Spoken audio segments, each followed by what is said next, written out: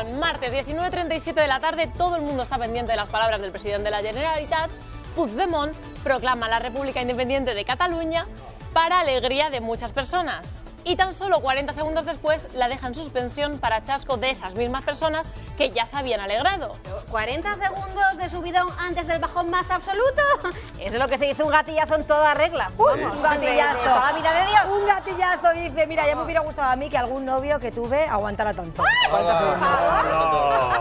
Da nombres, da nombres. Vaya. Bueno, nada, sigamos